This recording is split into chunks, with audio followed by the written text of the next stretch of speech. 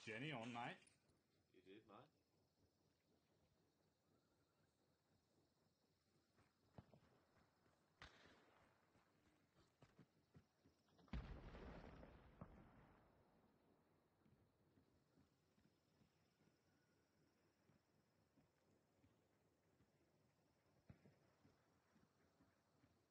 They're about to get it.